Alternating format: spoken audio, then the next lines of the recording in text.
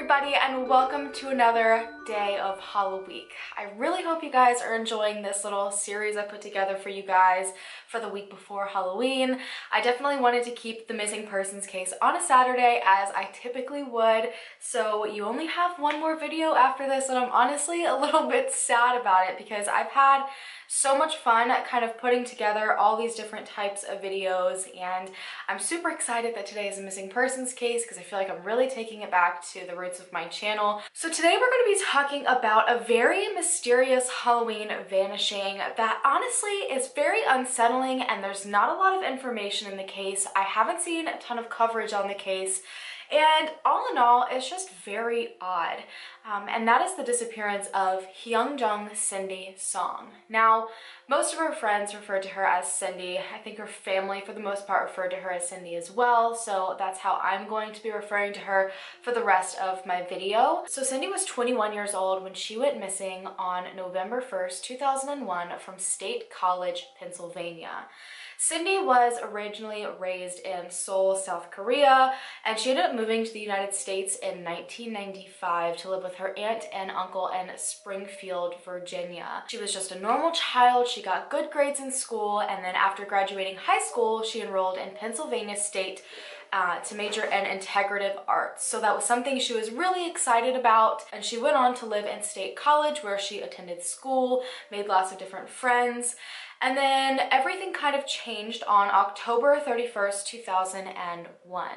So as any other college student, Cindy planned to go out that night. She was gonna go drink and party and have fun with her friends and they went to a Halloween party at Players Nightclub on the 100 block of West College Avenue. And at around 2 a.m., Cindy and her friends left Players Nightclub and decided they wanted to have a few more hours of fun, so they actually headed over to a friend's house where they played some games, they drank a little bit more, hung out, and at around 4 a.m. they decided to fully call it a night, so her friends actually went to drop her off at her state college apartments on the 300 block of West Clinton Avenue.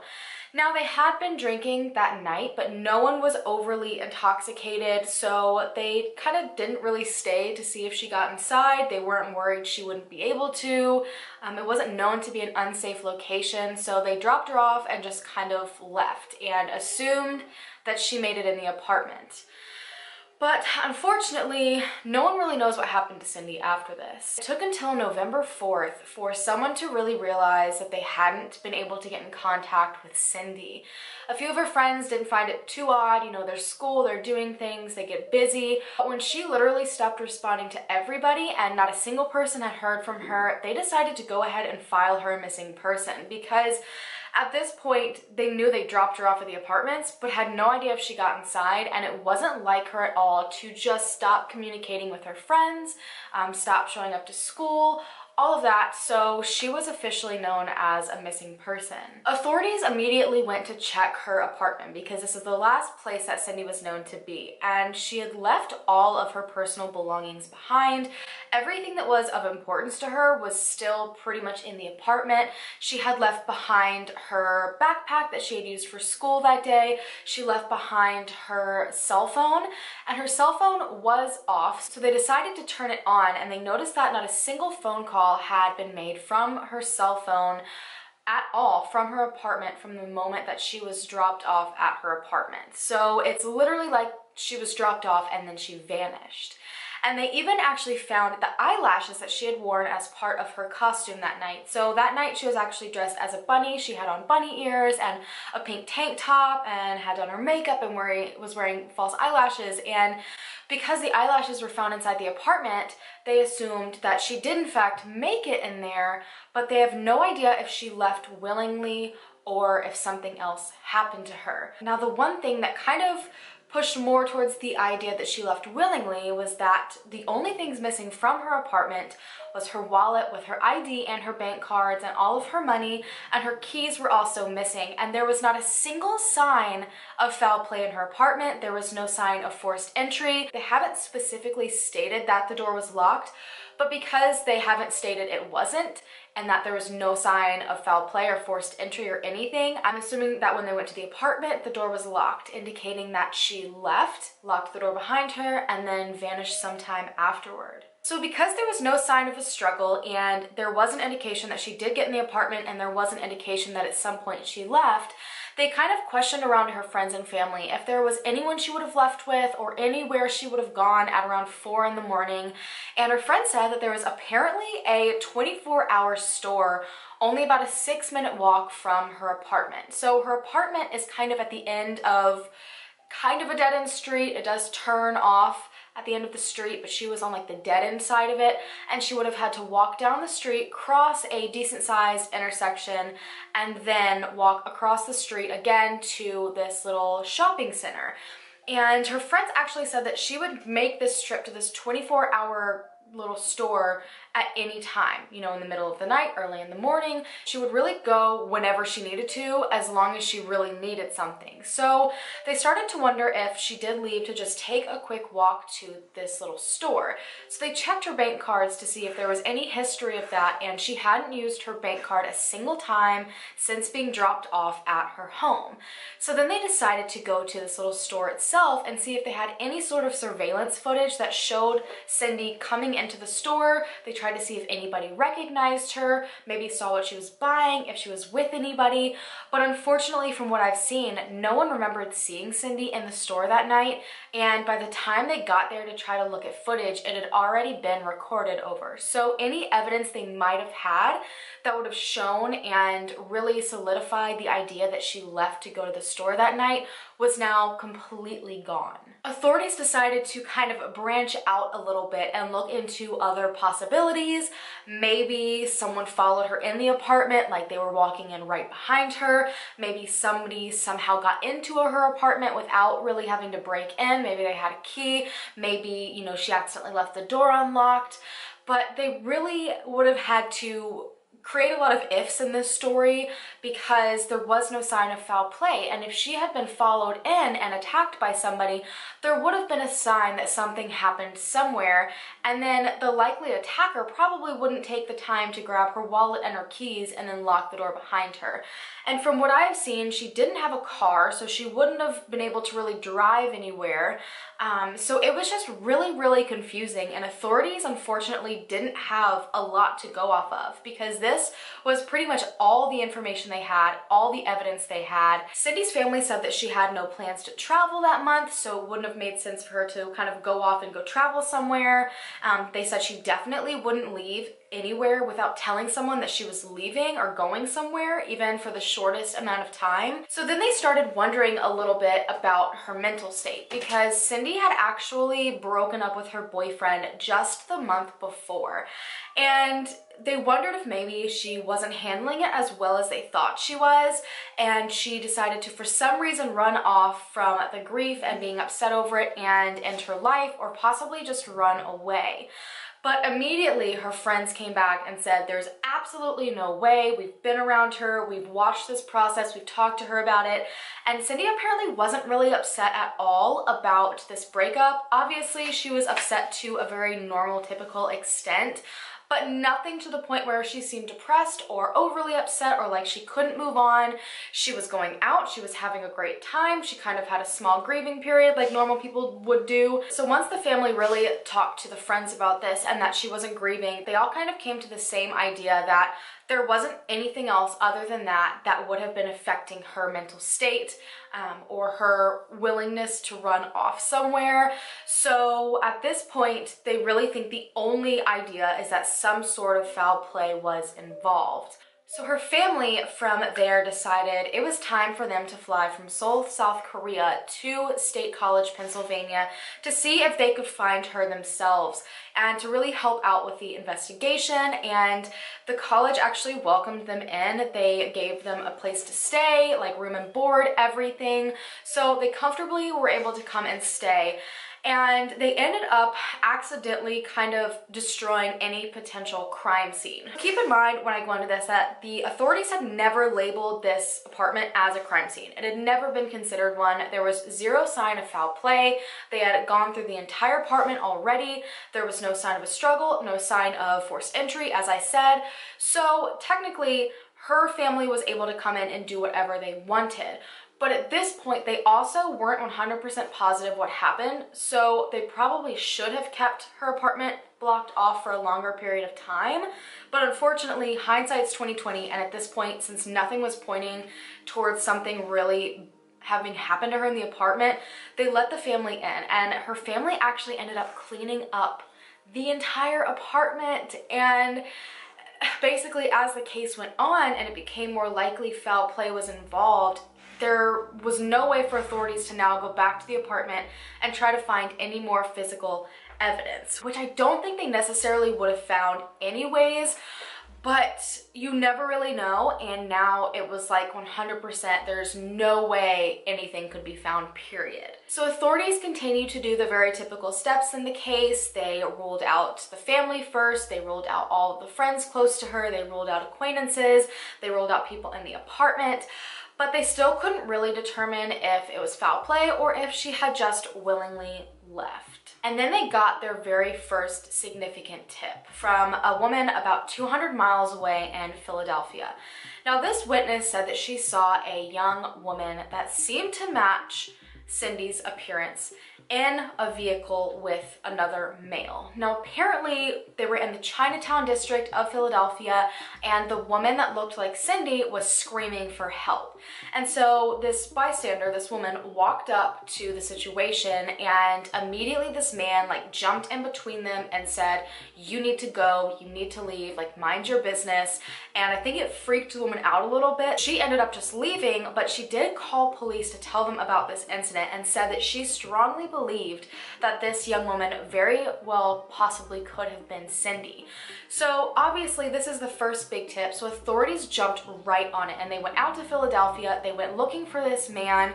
The woman described him as a man with like olive to light brown complexion and he had medium length hair, but that's really the best description that she could give. So they weren't able to find this man anywhere. And then the woman's story also started becoming less and less reliable because she started switching things up, information started changing, and it was changing so many times that they started to wonder if she had just fabricated this entire story. And they really wanted to stop trusting her in general but because it was the only lead they had and it was such a bizarre story they still to this day are searching for this man, but they kind of put this tip to the back burner. So they essentially were led all the way back to square one. Authorities started wondering if maybe Cindy's disappearance was drug related because when they were searching her apartment initially, they found a diary that she had kept and they went through the different entries to the diary to see if maybe there was something suggesting she was planning to go away or suggesting she wanted to enter life, um, talking about any strange experiences that she might have had with someone. But the one thing they found didn't actually relate to any of that, but it said that her and her friends had been experimenting with marijuana and ecstasy. So they started to wonder if maybe that night she had taken some other sort of drug, had a very adverse reaction, and maybe just like ran off in a distressed mental state, basically. But they talked to the friends, they spoke to everyone that she was with that night, and they really started, you know, going through different stories. And there was nothing at all that suggested any drugs had been used that night. They had just been drinking, and she wasn't even like full blown intoxicated. Um, so they just really had to dismiss that theory. But it kind of ties into a potential other theory later on. So about a year went by and no more tips came in on Cindy's disappearance. So Unsolved Mysteries decided to air a segment on her and they really hoped it would bring back some sort of life to this quickly fading case because a lot of people were confused and upset about it. This is a small college town and everyone knew about her disappearance. It seemed that despite how odd this disappearance was, there just somehow were no answers and it was really upsetting a lot of people. So they aired the show, but it really didn't lead to any more tips until one, and it didn't even come from this segment, I don't think. They were actually led to their first possible person of interest, a man named Hugo Selenski. Now, Hugo Selenski was a bank robber, a known criminal, and it was very possible he had something to do with her disappearance. When I say this man had a record, I mean it. He is a trip. He had started getting in trouble with the law when he was 15 years old, pretty much didn't stop. I don't know how old he is now. I think he's in his late 30s, possible early 40s. Um, but he spent a massive amount of time in prison and in jail throughout his life. He even escaped from jail at one point, kind of during a lot of the investigations into him when it came to Cindy and other things. And his backyard is actually known as the graveyard for bad guys. So if that doesn't tell you the kind of person he is, you'll just kind of see deeper into it. On June 5th, 2003, an informant named Paul Weakley, who had run-ins with the law and then kind of like became an informant, and this is actually, I think, something Hugo did for a period of time, but either way, he came forward and led authorities to Selenski's backyard, where he claimed Selenski told him he had burned and buried two people. Now, when they arrived at Selenski's home, he seemed very confused as to why they were there, and he ended up being immediately arrested for aggravated assault and burglary against a man named Michael Kerkowski Sr. Now, remember that name. So the reason they were led to this house originally is because Michael Kerkowski Jr. and his girlfriend Tammy had gone missing about a year before. And Michael Kerkowski Jr. was a pharmacist and was potentially linked to selling drugs, like prescription drugs. So basically, Paul had been told by Hugo Selenski that he had killed and buried Kerkowski Jr. and Tammy in his backyard. So he had assaulted Kerkowski Sr. and potentially killed Kerkowski Jr. It's confusing, I know, hang in there with me.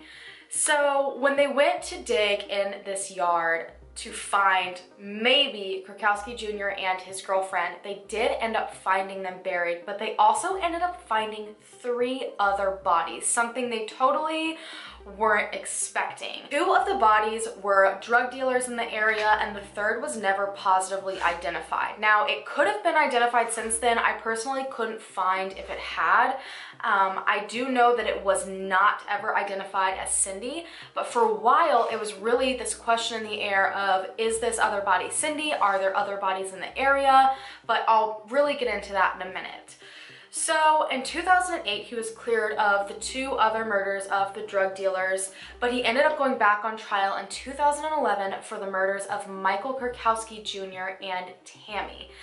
But the informant, during all this, during all these trials, after all these years, and keep in mind that in 2003 is when Paul Weakley came forward with this information about the bodies, it took until like one of these trials for it to come out that he had more information.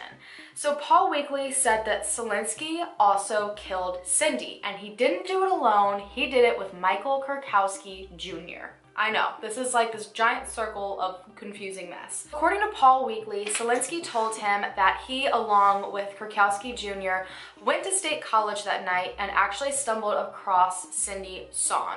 Now, I've seen a couple of different versions. I'm not exactly sure where this information's come from, so don't quote me on it.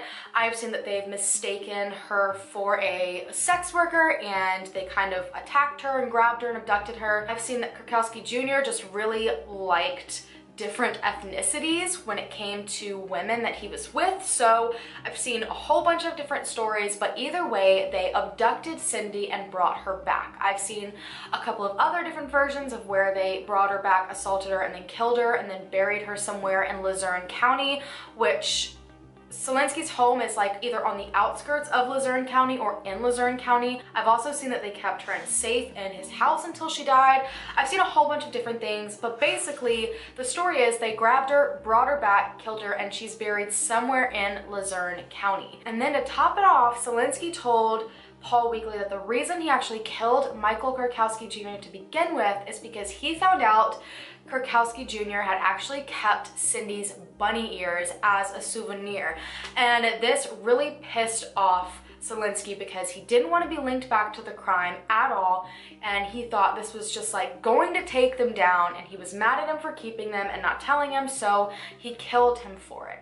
Now there's a lot of other different theories on why exactly Selenski killed Kerkowski Jr. We do know that Kerkowski Jr. had something to do with selling drugs, like pharmaceutical drugs. I know that he introduced Selenski to his father, saying that he was a trustworthy person. Um, I think his father became like the middleman and then something went wrong. Honestly, I have no idea, but they say there is a huge possibility that somehow this all links back to Cindy. So because of this ongoing trial with Selenski and his possible involvement with Cindy's disappearance, authorities weren't really able to say a lot. So they kind of put out this one article during Selenski's, I think, first trial saying it's highly likely he had something to do with Cindy's disappearance.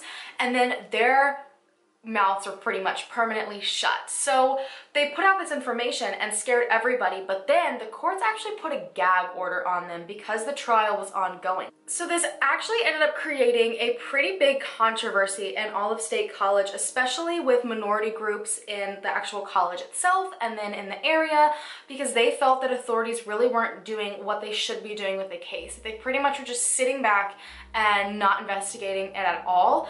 Um, it caused a really big uproar for a really long period of time.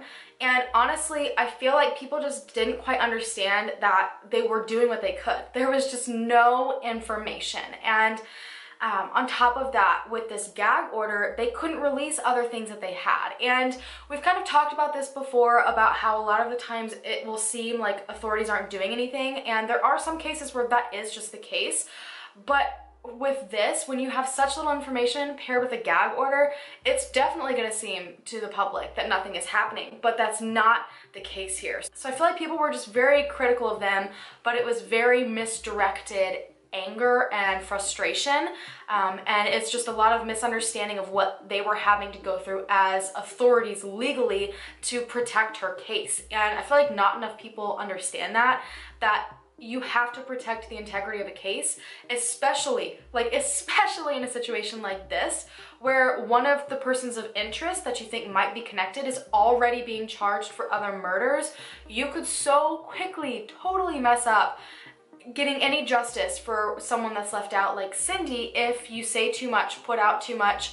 Um, it just wasn't something they were willing to do. So that pretty much blew over pretty quickly. Um, I know a lot of people kind of still talk about it, the fact that it was quiet for so long, but honestly, there's just no information. So one thing that was kind of frustrating and authorities didn't know what to think when it came to Selenski is that all of the information that Paul Weakley had given about Selenski, for the most part, up until Cindy, had a ton of backing. They were able to go and check to see, and they did find the bodies. Everything that Paul Weakley had told them had been true, but it seemed like Cindy's story that he told them didn't have like a lot of good backing. It just seemed almost like it was fabricated or just created either from Paul Weakley or from Hugo Selenski. So Cindy was not one of the bodies found on his property and all the people that we know of that he had murdered, he did just bury in his backyard. So that means he would have totally had to go off from what he normally did to bury her somewhere else.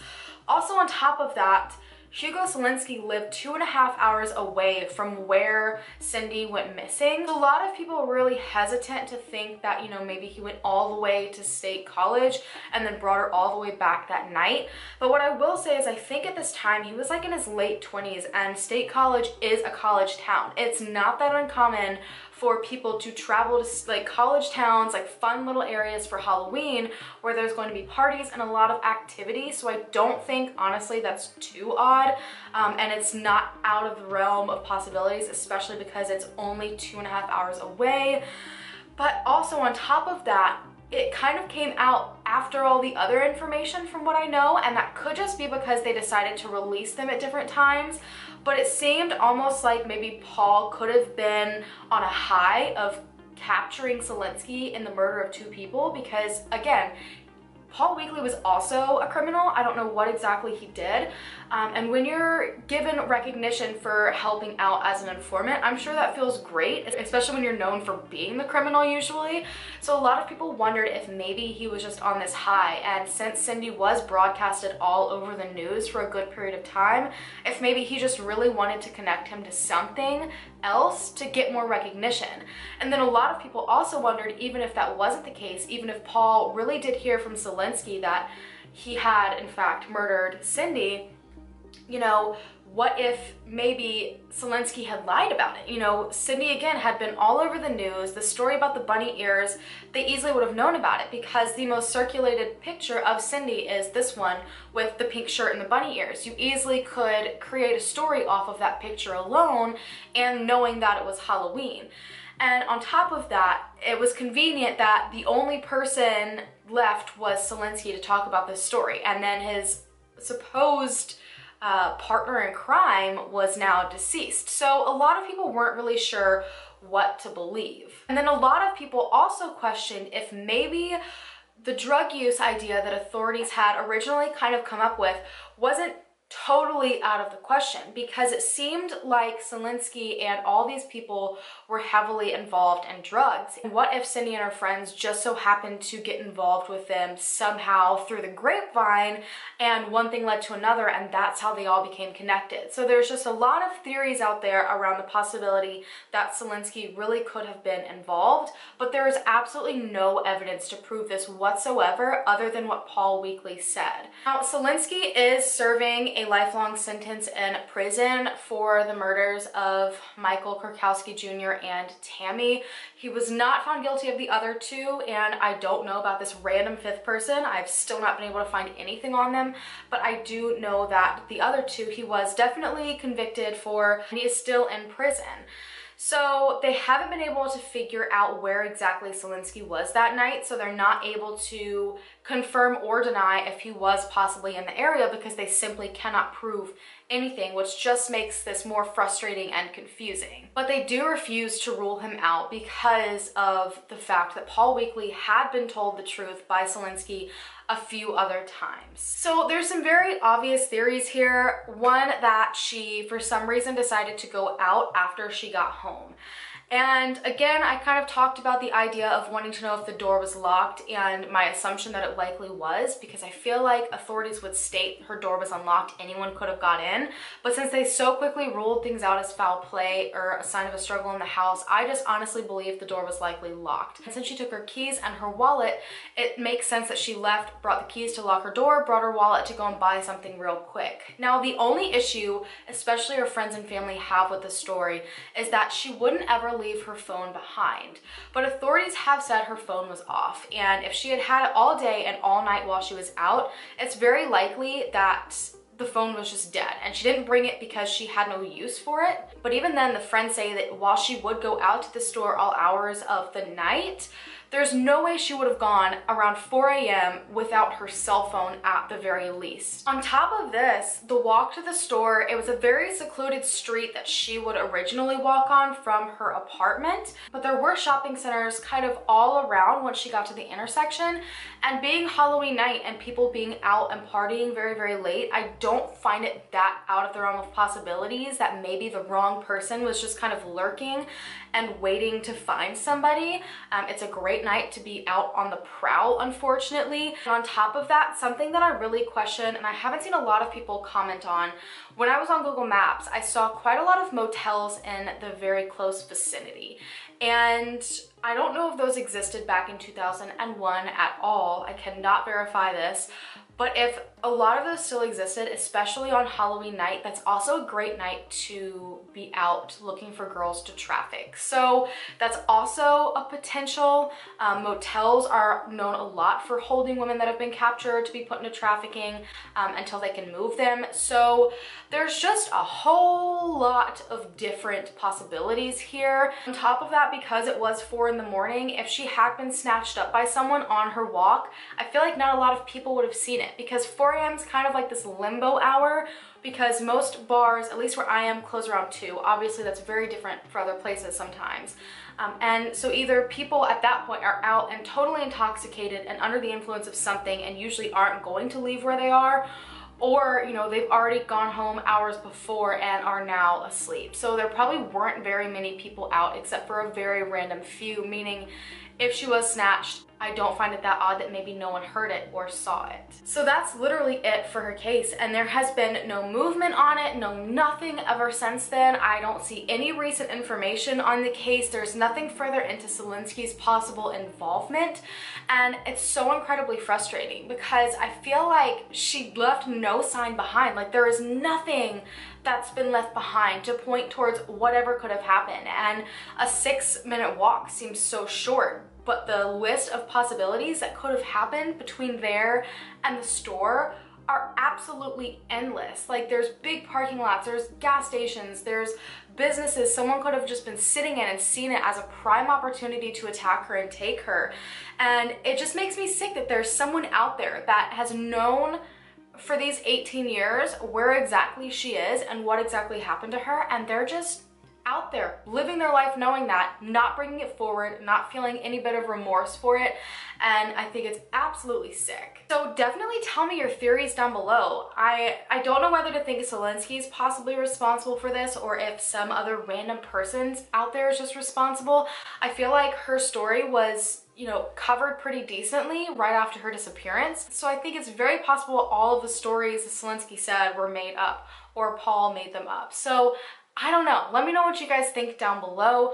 I want to say thank you so much for taking the time to listen to Cindy's story. Her story is really not covered very often anymore, so definitely don't forget to share it with people that you know. And don't forget to hit the subscribe button down below to become a member of the Hallan fam so we can hopefully bring them home together. And I'll see you guys in my next and last Halloween video. Bye!